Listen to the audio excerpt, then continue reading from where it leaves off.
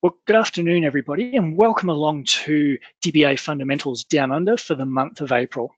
Once again, I'm your host, Warwick Rudd. This, this month, we've got uh, Hamish Watson talking to us about test-driven development in SQL Server. It will make your database deployments better. Now, before I hand over to Hamish, I do have some housekeeping that uh, I will quickly run through. So first off, for those of you who may or may not be aware, PASS Summit 2018 uh, is back in Seattle in November. The call for speakers has closed, so we should be hearing all of the uh, sessions that will be going on uh, over the next couple of months. If you haven't already registered, make sure you register for this uh, three and a bit days of training. It's very worth your while. Like last month, we're now promoting PASS Facebook Live. And uh, in the next upcoming session, we've got uh, Paul Turley talking to us about, or it hasn't got his content, but that's okay. Make sure that you register to uh, listen to Paul Turley in the upcoming session in 14 days time. If you haven't already uh, put yourself out there as a PASS volunteer, make sure that you do and you can go in the running to get a $100 gift card for any referrals for uh, community sponsors. PASS Career Centre. If you want to uh, a change of positions, feel free to have a look at PASS and uh, have a look at the careers that they do have available, and you can be a part of this fantastic SQL community. Make sure that apart from this virtual chapter, there are many other virtual chapters that you can register and participate with to help grow your career and learn from some fantastic presenters globally. Make sure that you stay connected. You can look at the pass.org website on Twitter, stay focused with the hashtag SQLPASS or the at SQLPASS Twitter handle. Now, I just want to promote some upcoming SQL Saturday events in our area. We've got SQL Saturday 712 in South Island uh, on Saturday, the 26th of May. Speaker submissions are still open, or actually they close, obviously with the time zones, uh, close tomorrow. Make sure that uh, you register. If you want to be a speaker, there's still time. Following the weekend after that, we've got SQL Saturday 713 here in Brisbane. We've already closed the speaker, uh, the call for speakers, and we will be announcing those over the coming week. For SQL Saturday Brisbane, we are running two pre-conferences. The first one is on machine learning with SQL Server by Ginger Grant. If you wish to learn about uh, machine learning, feel free to go to the Eventbrite site register for this fantastic one day of training. The second pre-con that we've got is SQL Server Practical Performance Troubleshooting, and this is by Amit Bansal. If you would like to learn about performance tuning from Amit, once again, we can go to the Eventbrite site, register for this fantastic day of learning. If you're into Power BI, there is a two-day Power BI training course by uh, Ginger to take you from start to finish with Power BI. With that, I'll now hand over to Hamish for today's session. Thank you, Warwick. Right, just uh, get everything up and running. Alrighty, hopefully you can see my screen. Okay, uh, welcome to Test Driven Development in SQL Server. It will make your database deployments better. My name is Hamish Watson. I'm from Christchurch, New Zealand, and I've been working in IT for 7,078 days. So obviously started when I was a child. Um, been managing SQL Server since SQL Server 2000. Uh, I'm a DevOps alchemist. I may have made that title up. Um, in my real job, I'm a DevOps consultant for SQL Masters Consulting. Um, I like to speak, as you can see there. Um, the reason I like to speak is because my whole life is a unit test and I've made so many mistakes and I want to help people learn from my mistakes. I've been recognized by the community. I'm one of only six uh, Microsoft Data Platform MVPs in New Zealand. And I like this thing called DevOps, which is part of what today's discussion is about. Um, my hashtag on Twitter is make stuff go. Um, and I write a blog at hybriddbablog.com. And my community email for people who want to reach out and ask me questions is there hamish at morphet.co.nz. Right, what are we going to do today? Um, I'm going to talk about test-driven development and why should people, as either a database administrator or a database developer, even care about this. I'm going to talk about the tools that will allow us to achieve quality code and changes to our database. And I'm going to uh, showcase a demo, which hopefully will take you from someone who either doesn't understand or doesn't like test-driven development to someone who loves it. I'm also going to talk about the lessons I've learned uh, with test-driven development. Test-driven, testing in general is kind of like this. We have a developer on the left-hand side, a tester on the right-hand side, and they're both looking at the same thing, but seeing far different things. Compounding this is so many systems are considered legacy code, i.e. they can't have unit tests put on them, when in fact they can. And I actually think the legacy code is simply code that doesn't have tests. And in my uh, involvement with DevOps is testing is the one thing in DevOps that always gets missed out, and especially in the database. So, what is test-driven development? Martin Fowler, back in 2005, came up with a definition of it where it's a technique for building software that guides software development by writing tests. And some people think, well, that's, you know, 13 years ago. That's um, been around for a while. Well, in fact, it's even earlier than that. It was developed in the 1990s as part of extreme programming by Kent Beck. And it revolves around where the requirements for a system are defined in agile processes, and those requirements are then turned into specific test cases before we develop. And the software that we're creating, we create and we improve to pass the tests that have been um, defined in our user case. Wait, did I just say the word agile? I did. I said that the requirements are defined in agile process are then turned into specific test cases. And this really is that session that reminds us that as data professionals, we're dealing with systems developed using agile principles. You know, developers have been using agile for decades. And we as data professionals have to play catch up. Agile is really about where we have the highest priority to satisfy the client through early and continuous delivery of value. And it's important to think about the client because they pay us. Without the client, we're not getting money. So however we can increase the user experience or client experience to be um, better, it's got to be a good thing because they're hopefully going to pay us more. Agile processes harness change for competitive advantage. It means that we can react and adapt far quicker to the client than anyone else can. It also means that we're delivering working software frequently with a preference for shorter timescale, i.e. small iterative changes that we're delivering out far quicker. And working software, this is the primary measure of our progress because we want our code in a deployable state at all times and the promotion of sustainable development. This allows us to maintain a constant pace. And in agile development, design is supposed to be built gradually as per the need. But if your software is huge and complex, you may never have the confidence to build as per that need, unless, of course, you're using test-driven development. Excuse me. Now, this is the old school approach.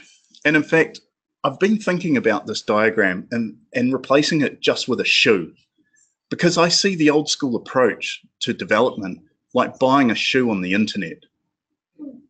It's like I see a shoe on the internet and I buy it. I get it home and it doesn't fit. And it's like, why doesn't it fit? Because I tested when it got to my house. I'm a size 10 and a half shoe and I bought a size seven. And the only way I found out was when it turned up at my house. So I designed, coded, and then tested. Whereas in fact, I should have done the new school approach where I design, i.e., I want a shoe, I test, how big is my foot? And then I code, i.e. buy the shoe. And so this is turning around from the old school approach where we're testing right at the end to the new school approach where we're testing right after we design, i.e. when we understand what the user or client wants. So again, what is test-driven development? We basically write a test for the next bit of functionality that we want to add to the system. We write the functional code until the test passes. We then refactor with confidence both new and old code to make it well structured. And we keep continue, we continue cycling through these three steps, one test at a time, building up the functionality of the system. This is the life cycle of test-driven development. And I thought I'd use this cool little diagram. So we write the test first. And in test-driven development, each new feature begins with writing a test. We write the test that defines a function or improvement of a function, which obviously should be very succinct. We then run a test and obviously we check to see if the test fails and we actually want it to fail because we want to find out any false positives. Um, and the differentiating factor of test-driven development versus writing unit tests after the code is that it makes the developer focus on the requirements before even writing the code.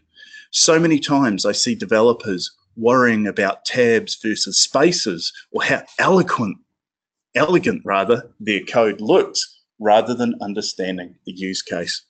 So we check if the test fails and then we write enough code to pass the test. And then we actually go back and rewrite the test. We check to see if it passes and again, write enough code. But this is only half of um, half of the story because now we want to actually go back and refactor. So if the test succeeds, we now check if all tests pass, i.e. succeed. And if all test cases now pass, the developer can be confident that the new code meets the test requirements and does not break or degrade any existing features. If they do not, the new code must be adjusted until they do. And the growing code base must be um, cleaned up regularly during test-driven development. New, co new code can be moved from where it was convenient for passing a test to where it actually more logically belongs. And as you can see here, we're continuously refactoring, making sure our tests pass.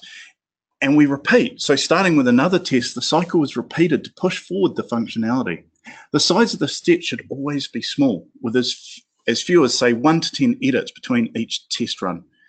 If new code does not rapidly satisfy a new test or other tests fail unexpectedly, the developer should undo or not make increment or should undo or revert in preference to um, uh, sorry, rather than doing excessive debugging.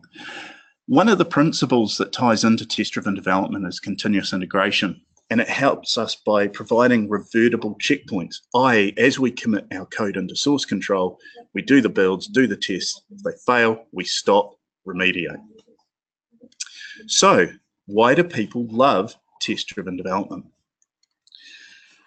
I always like to have a cartoon, and one of the ones, one of the reasons is around improved quality. I automated tests reduce the number of defects, and part of the principles of test-driven development is that we want to automate our tests. We also want to increase the agility Having existing automated tests allows teams to respond more quickly to changing requirements, i.e. that good old agile word again. And it reduces our risk. Having a, having a suite of automated tests reduces the risks when making changes to the code. And it helps teams to respond, again, more quickly to change. It also instills confidence because developers have confidence they aren't breaking anything when changing existing code. It also results in cleaner code. Having to design the code for testing results in smaller modular and loosely coupled components. So on the flip side, why do people hate test-driven development? Test-driven development for databases is hard. And that is actually, that is correct. And it's more the reason to do it because doing test-driven development for application development is, is a lot easier because databases have persistent data. And if we do something wrong in an application, we just roll back the DLLs. Doing that with a database is a far, far different story. Asking a client if we can restore their database for 20 hours, uh, generally they don't like that. And it does not mean that we have to learn another language because the tools can help. There are open source tools like tSQLt. There are utilities like SQL Test. And there's also SQL Server, SQL Server data tools that allow us to write unit tests in T-SQL. So DBAs are writing in a language they're used to. and slow. It's true that you'll spend more time on upfront design and development, but the key point is you will spend a lot less time debugging in the long run. No production code is written because the code you'll write is to pass tests, and those tests will be driven by established requirements. And it's far easier to do small modular changes than doing a whole raft of development and then doing the testing at the end. Reference data. The cool thing is some of the utilities out there like tSQLt allow us to set up reference data. And it can be stored in source control and pulled down with the project and put into our automated deploy processes and automated build processes. Writing tests for all legacy code. Look, I do agree. We don't have to write hundreds of regression tests, but when a bug is identified in that code, or you're changing that code to support a new feature, we should write the unit test. So we're backfitting um, unit testing and test back to that legacy code. Working software is a primary measure of success. And in my opinion, unit tests will help us achieve that via test-driven development. And again, lack of knowledge or experience in test first development. That's part of the reason why I'm doing this session because I have seen for so long uh, people trying to um, do test driven development or not understanding it. And uh, by doing these sessions, it allows me to help people understand what test driven development is about.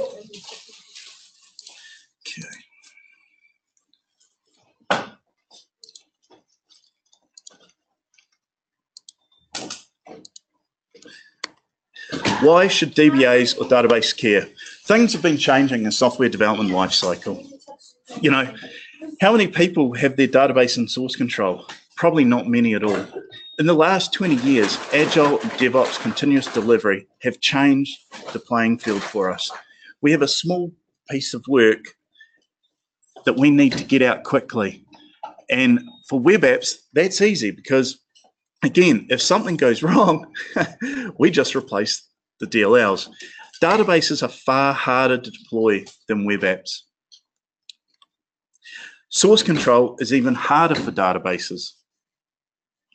And one of the key things that I do um, in my sessions and with uh, clients is introducing them to the um, ability to put their database into source control. We want to, we care about the data and we care about the end state of that data. By putting our database in source control, we're going to automate the deployment of our databases through our environments. It means that we can also make a change to one place in our database and see what effect that, that does.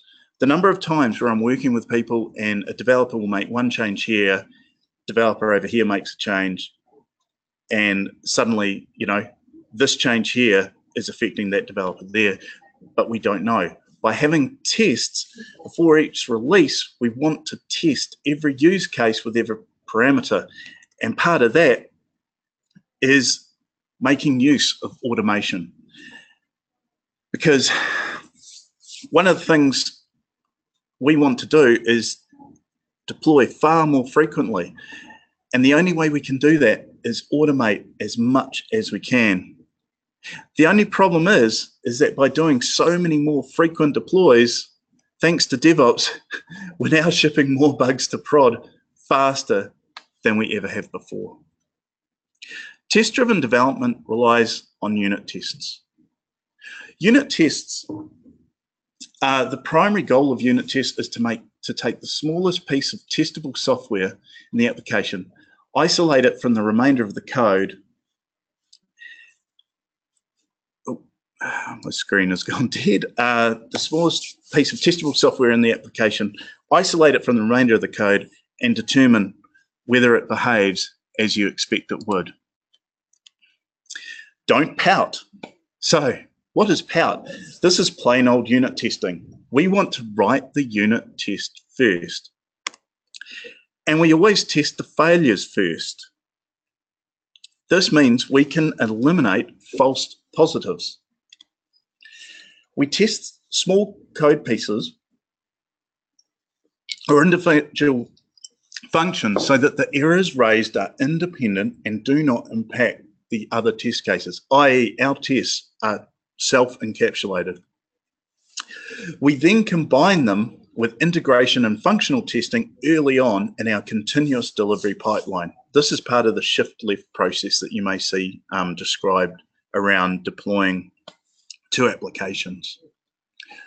We also need to test our data.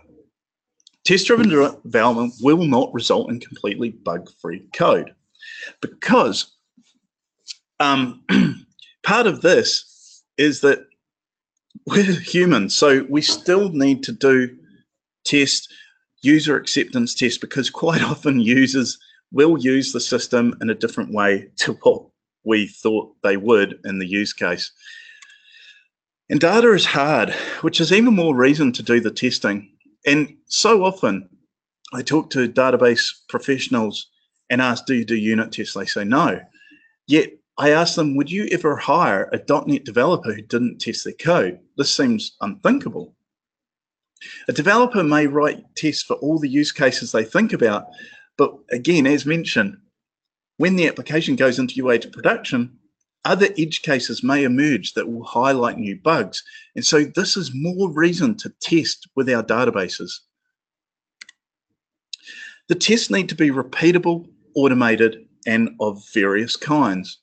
We want to do their unit tests. We want to feed that into integration, logical, functional tests. We want our QA engineers running across it. And again, that user testing. And we want immediate feedback. And we can then test for our mistakes so we don't repeat. The reason we do this is because if we make a mistake in our system, we then want to write the test so that that mistake is not repeated.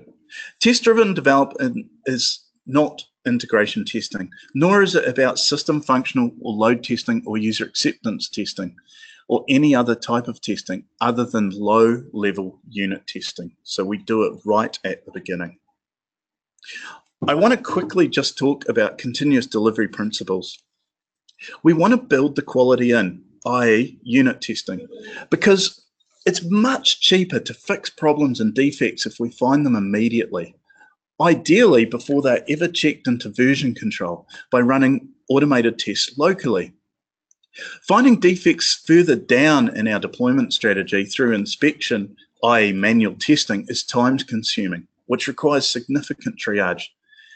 And I always describe to developers and DBAs, how about if you find the defect in your code at three o'clock in the afternoon on your laptop, you're the only person that then knows that that bug is there, you can fix it. Whereas if you do not do unit testing right at the beginning, do test driven development, and that bug finds its way to production at three in the morning, there are going to be a lot more people finding out about your bug, and you're probably going to have to be awake at three in the morning. Continuous delivery also um, has the concept of working in small batches. And in traditional based uh, phased approaches to software development or database development as well, handoffs from dev to test or test IT operation consisted of whole releases, i.e. months work, worth of work by teams. Whereas in continuous delivery, we take the opposite approach and try and get every change in version control as far as towards release as we can. And we want to get comprehensive feedback as rapidly as possible. And working in small batches has many benefits. It reduces the time it takes to get feedback on our work, which means it's easier to triage and remediate those problems. We want the computers to do the repetitive tasks, the mind-numbingly jobs, you know, like deploying at three in the morning, whereas people are far better at solving problems. And many people worry that automation will put them out of a job. This is not the goal. There'll actually never be shortage of work in a successful company. Rather, people are freed up from the mindless drudge work to focus on higher value activities. It also has the benefit of improving quality since humans are at their most error prone when performing mindless tasks. It also means that instead of having a team of people doing deploys at three in the morning, not only will those people be at work the next day, but we could put them onto higher value activities, i.e. learning how to tune indexes and then tuning indexes, because I've never met a database that doesn't require any form of tuning.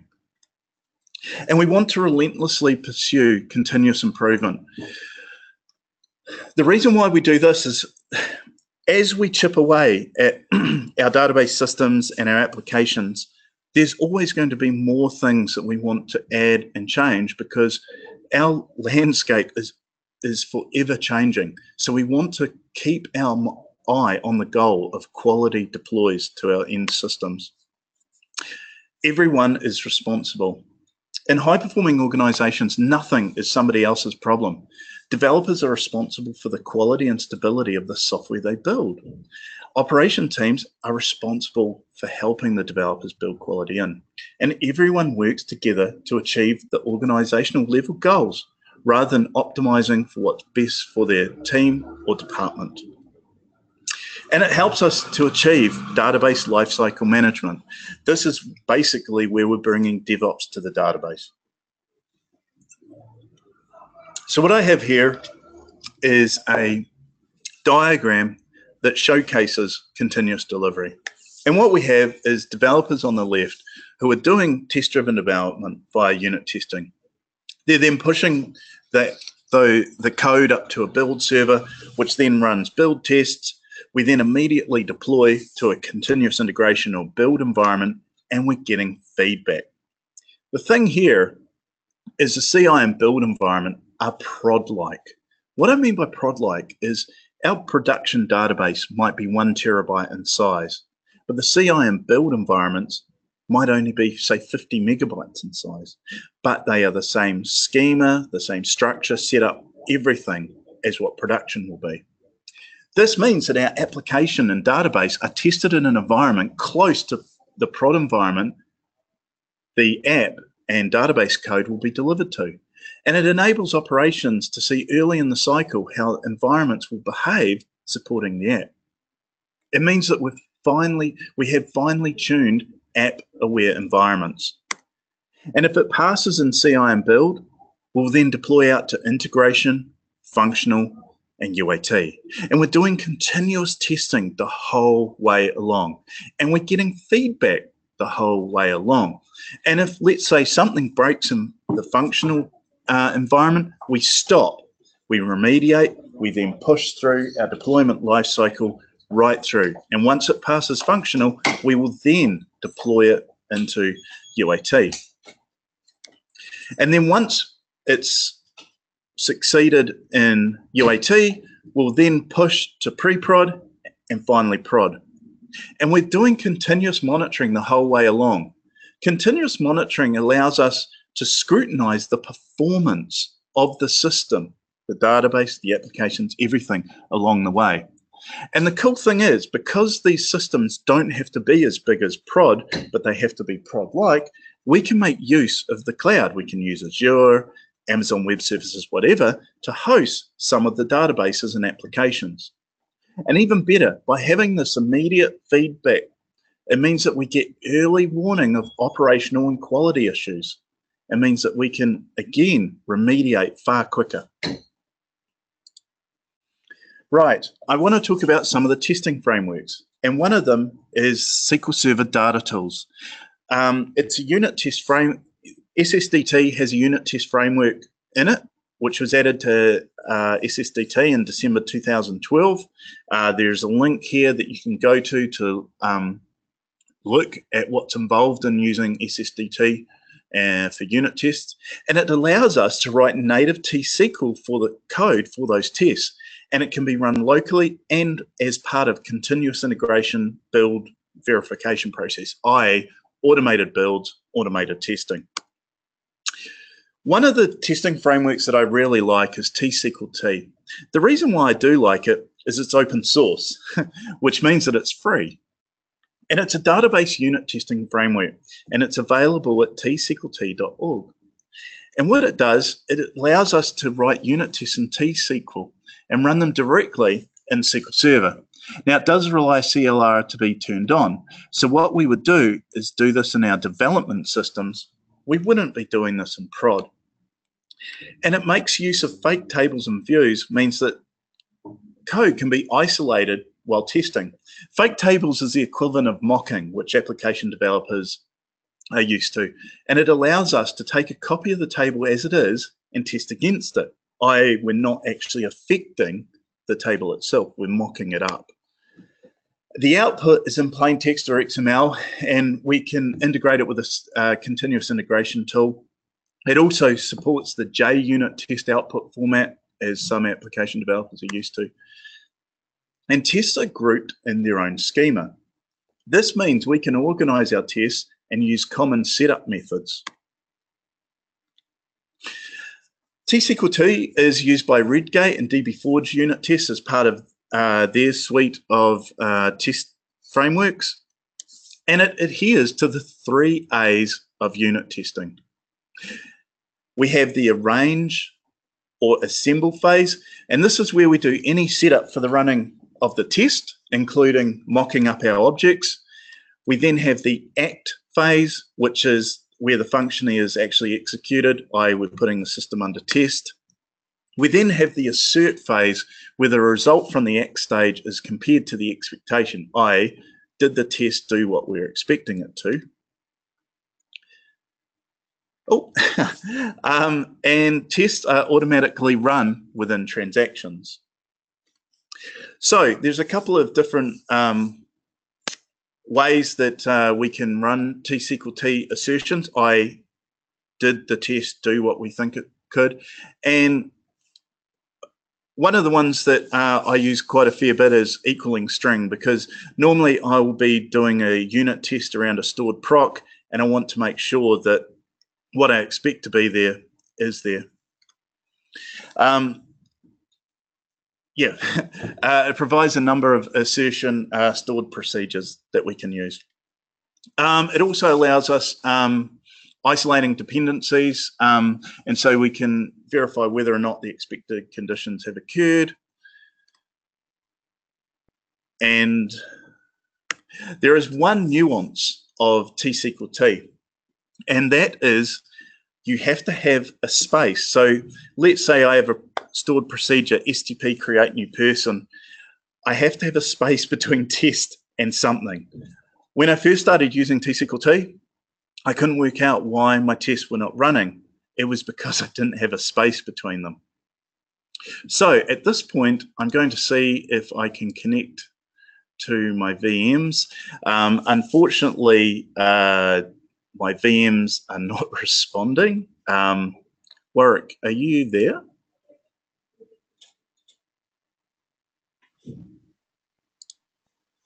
So what I may have to do um, is the Wi-Fi that I'm using won't allow me to get to the VM. I'm going to try and use my phone um, I may drop off and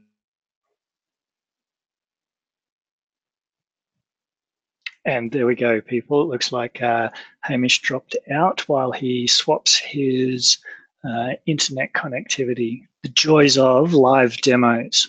Just a reminder to everybody while we are waiting for Hamish to come back, so we may run a couple of minutes late, but just a reminder to everybody that this session is being recorded and will be made available on the DBA Fundamentals uh, archive website so that you are able to uh, come back and rewatch this session at any point in time. Also, another reminder to everybody on the call that uh, feel free to ask any questions at any point in time. I am monitoring those questions and I will put those through to Hamish at the end of the session. Looks like we do have Hamish back and he is going to show us his password. Yeah, fantastic. oh goodness. Um, apologies for that. Um, I'm actually at a client site. That client does financial um, things, and uh, yeah, they're um, their setup is fairly secure. So what I might do, um, I just have to set up a few things. So I will not have that one. Oh, apologies. Um, uh, yep. What I'll do is I just need two minutes work um, to set things up. So hopefully in my demo, I'm going to take you from this to this. Yeah, to this. Right. Uh, I just need one minute um, to start things up. And apologies, um, I wasn't sure if it was my access. Um, but what I will do, um, I just actually I only need 20 more seconds. So um, I'll show you, I'll take you through um, what we're going to do. Okay. Well, the good news is at least the VM has started.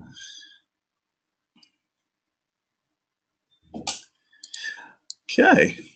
Uh, Warwick, can you see my uh, VM? Yes. I've logged Good. into Team City. Yep, fantastic. So TeamCity is a continuous integration uh, tool. It's, it does builds and um, automated testing. Um, I'm also going to use Octopus Deploy. Uh, this does um, uh, deployments. So it does uh, the continuous delivery side. So we see a whole heap of environments here. Um, and what I'm going to do is uh, I'm going to use the Simple Talk um, system.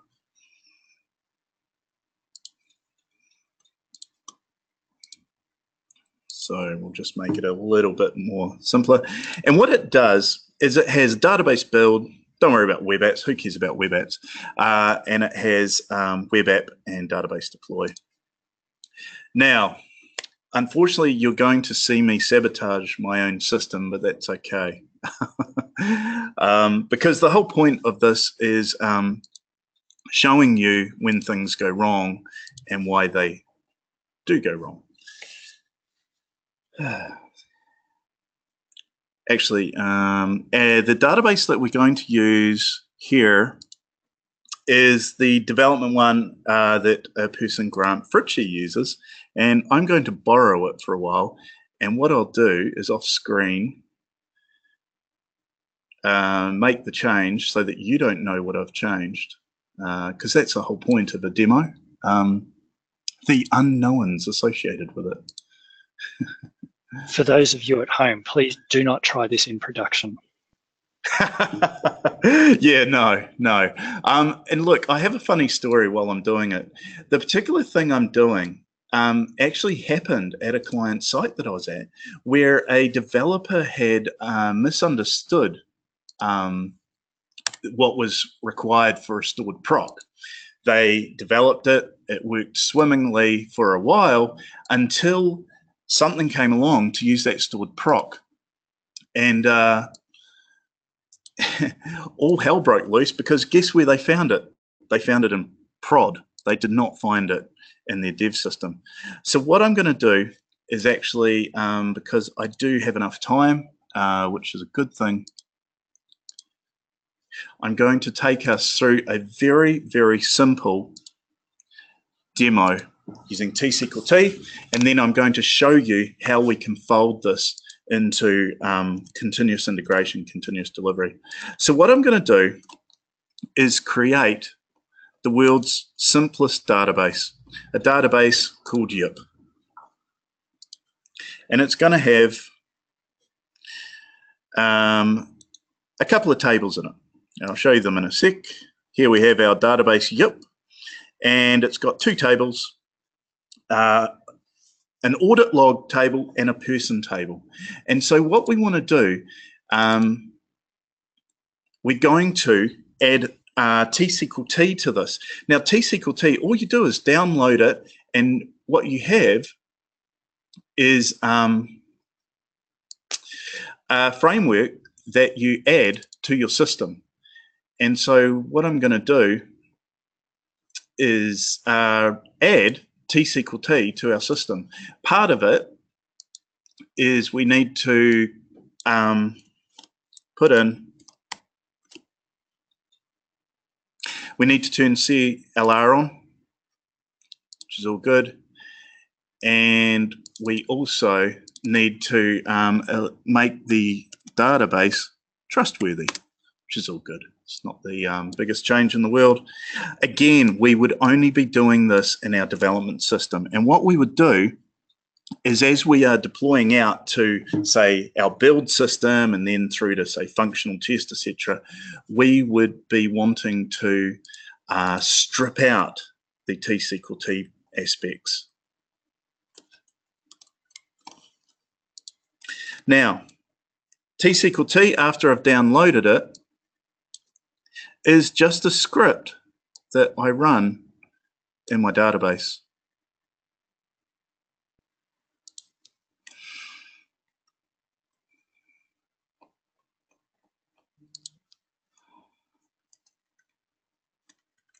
And I cannot get to the top. But that's okay. Just bear with me.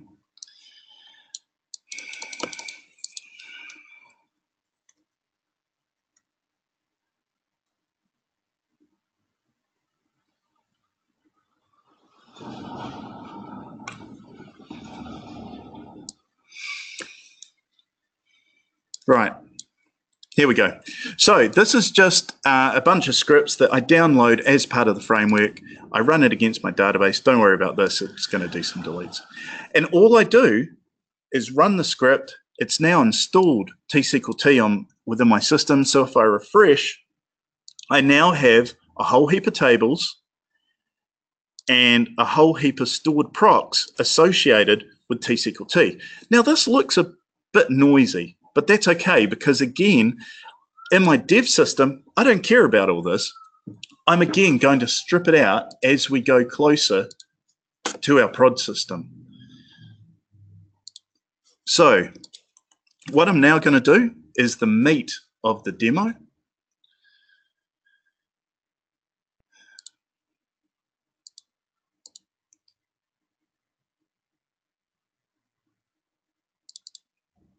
And all I'm going to do is create a stored proc. Pretty simple one. Create new person. For now, that's not very much at all because the meat of what I'm going to do is I'm going to create a new class and this class is going to have all my mocked objects in it. So I'm going to create a test class called sp create new person. Boom.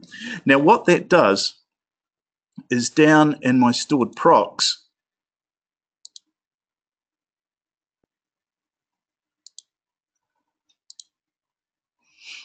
is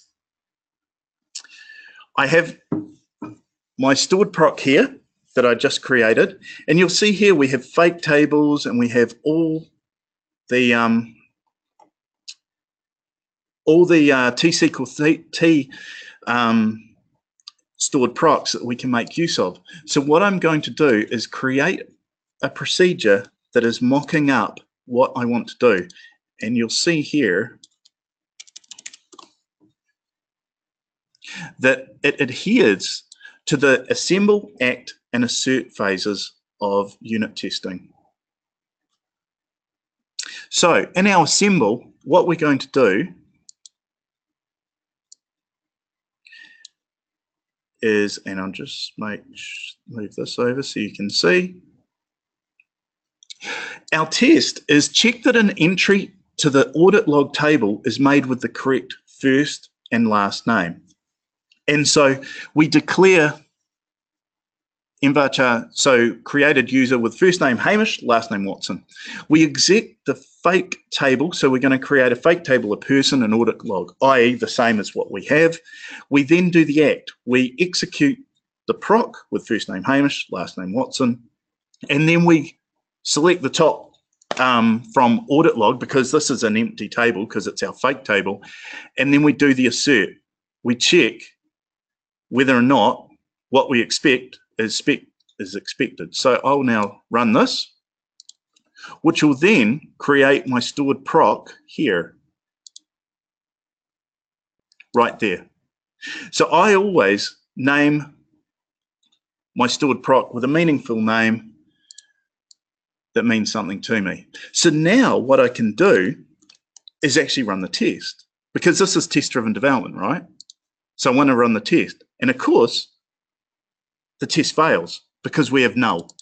So now what I do is create the rest of our stored proc because the whole point of this proc is understanding the use case where we want to insert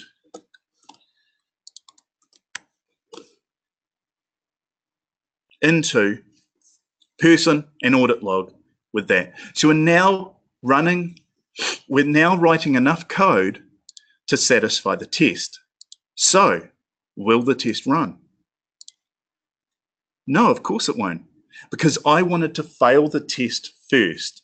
I wanted to find out what would happen if something bad happened. And as you can see here, it failed. Created user was ham and what? And the problem is, is that when I created the stored proc, I had a three instead of three zero, three instead of three zero. So now I write enough code to pass the test. Will it pass the test? Hopefully. Boom, it did. So that, in a nutshell, is how we um, we start our journey on test-driven development. And the key point here is understanding what it is that we're writing the code for. It's about understanding the use case. And so for my use case, it was inserting data in the audit log as we inserted a user into the person table. Okay, so now what I'm going to do is I'm going to use this system here, which is linked up to source control. And what I want to do is I'm going to make a change to this system and then uh, the tools are far more intelligent than me.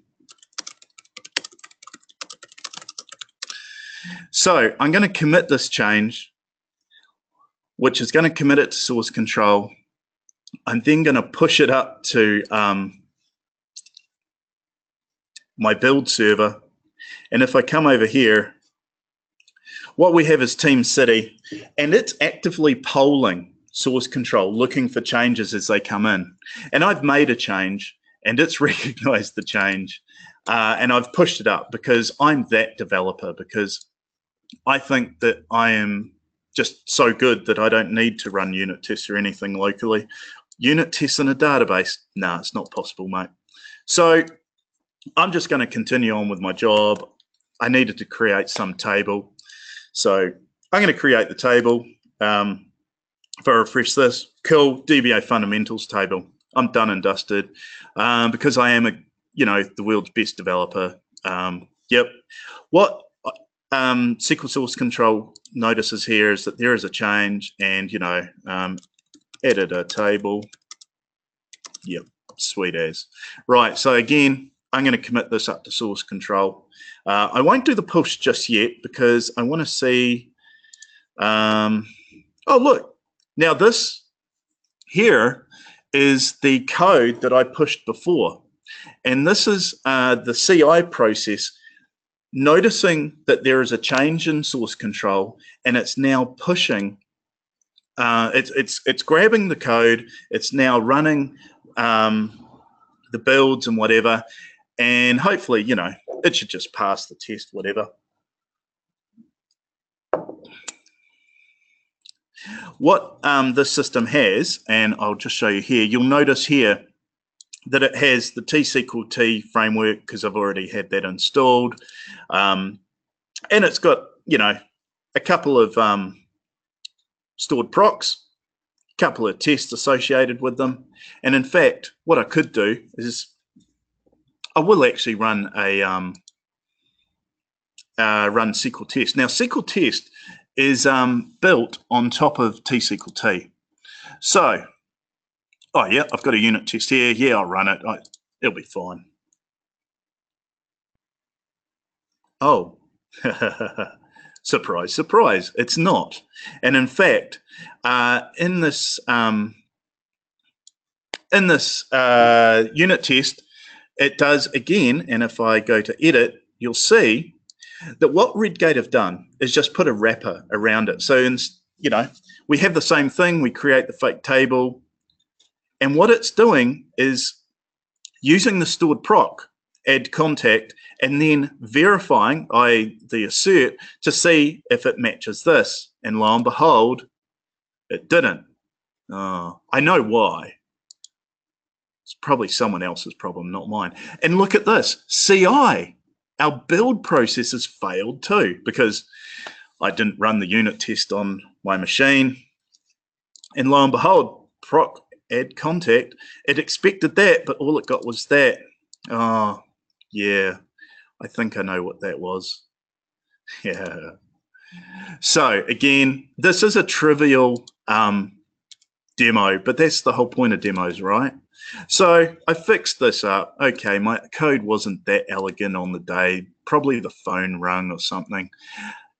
Why don't I adhere to best practices and run the test locally? Hey, it succeeded. So now what I can do is, um,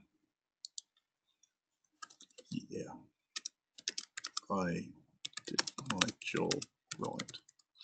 So I'm going to commit this as well to source control, and then I'll do a push up to um, the build server. Cool. Now, I already know that this should pass, right? Because I practiced this demo earlier on this morning. So rather than everyone just watching this go through the process again, this will succeed and then it will go through and it will start deploying in our simple talk system here. It'll deploy through and we can carry on as normal as you'd expect. Oh, and look, here's my um, my commit that's uh, gone up. So what I might do is uh, carry on with the, uh, oh, what I will just say before I finish here, and in fact, I've lost my mouse. Yep, there we go. Um, if everything works uh, in our continuous integration system, it's going to push to uh, the integration environment here. And uh, the way we'll know if it did, because it will have this horrendously, horribly named table down in here. But for now, what I'll do is continue on with my presentation and we'll come back. So the demo agenda was we looked at some simple testing. We looked at tSQLt. It's great because it's written in T-SQL, right? Um, we didn't look at SSDT um, and we started to bring things together in continuous integration. Some of the lessons learned. Look, remember that unit tests are small um, as should your change be. So our, our unit tests are not big tests. There's no if then branching in our unit tests. We want to keep the test simple because we're doing the smallest amount of change. We write a unit test, it's simple. And the tests are independent. I don't have to rely on another test for my test to complete. And once we have tests running, we combine them into continuous integration. And then obviously we start pushing that out into continuous delivery, deploying out to production. There's some really great tSQLt references out there. And um, David Green um, is the author of this Pluralsight course here, and he's written a whole heap of information on tSQLt, and I've used his blog so many times. Um, and Greg Lucas has also written a lot about tSQLt. And if you're doing, um, if you want to do tSQLt testing, i.e. unit testing across database tables, this particular um, blog site here is invaluable. Some best practices. Um, tests should be run often, i.e. every commit, do the tests. Um, long running tests will kill the enjoyment of this. Try and keep your tests small, succinct. What we'll do is bring our unit tests into integration tests that we'll run overnight and keep our test code cleaner than our production code. It's actually as important as our production code. And tests are living. They need to maintain, be maintained. By this stage, I have to admit one thing. Whether or not you agree with test-driven development, I don't actually care. I really don't. But what I do care about is writing tests, please. If you want to write your unit tests after you've written the code, so be it. I don't, I'm not going to um, sit on my high horse and say, oh, that's the wrong way to do it. If you just write tests, that's at least a start. A bad way to deliver change to your database is not to do automated testing. So there's no point just having heaps of manual tests because humans, we're kind of inconsistent, but automation will help us. Start unit testing, functional testing your database code and data, please. Again, I, I've said please a couple of times here. The reason being is I want people to make their systems better. I want your deploys to production to be the most boring thing known to man because it works every time. At this stage, uh, I welcome some questions. Um, the person in this picture is a tester who taught me everything about unit testing and in fact helped me embrace DevOps uh, for the database. And so as a thank you to him for showing me the light, I always have him on the question slide. Um, what I will do at this stage is just see how um, our change went. Oh, look at this, success. So our test passed. What happened to, oh, we have a deploy that succeeded. Do we have a table? Hooray, we have a table. So that in a nutshell is why test-driven development is fantastic and will make a positive change for you.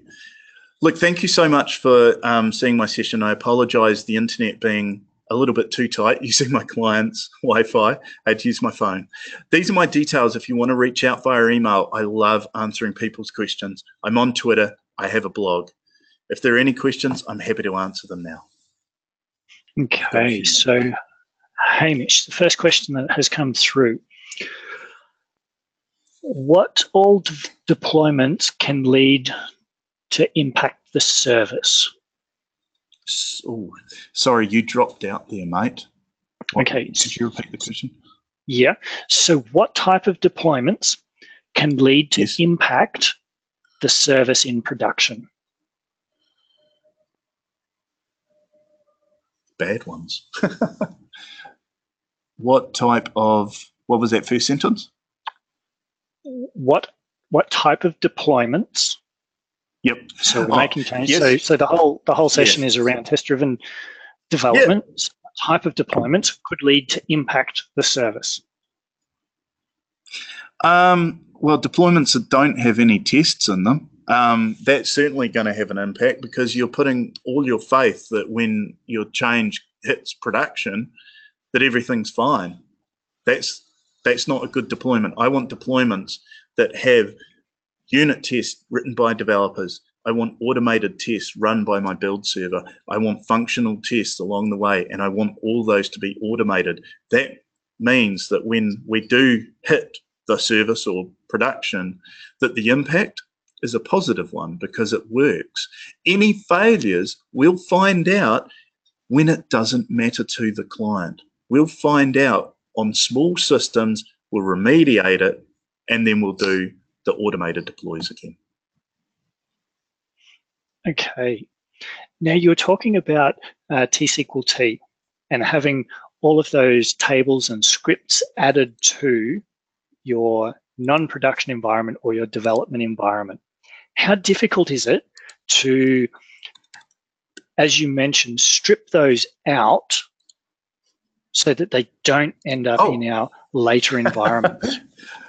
Ah, that's a fantastic question. And in fact, um, depending on um, how much time I have, uh, I actually do that. But let me answer it really quickly. Um, it is literally tsqlt dash uninstall. And so in my build step, and in fact, we had that here um, before we deployed to the integration environment here, we stripped out in our build process all of these tables. Yeah, it's tsqlt dash uninstall, and it just rips it out, and then we just deploy and carry on because we know our test passed. Okay. I, uh, can you see the tsqlt um, website? Yes. Hopefully. Yeah, cool. Yes. Okay.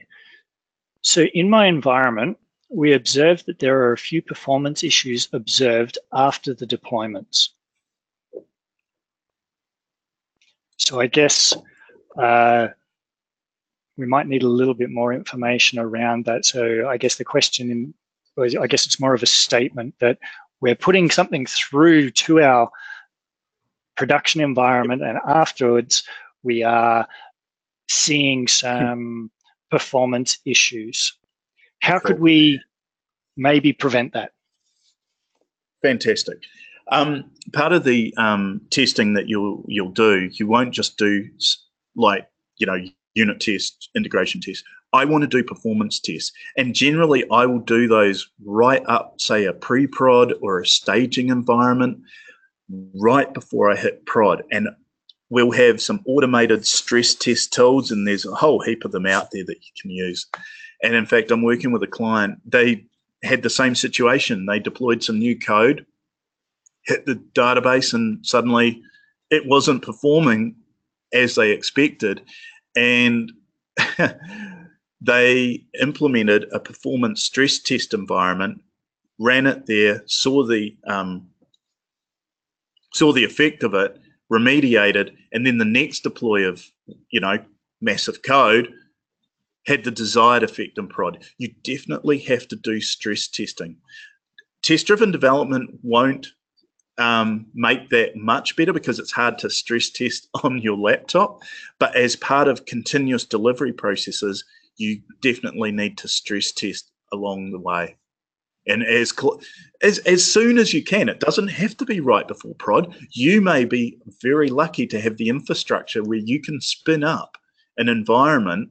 You know it might be two deploys into your deploy pipeline. You have a stress test environment. That would be fantastic.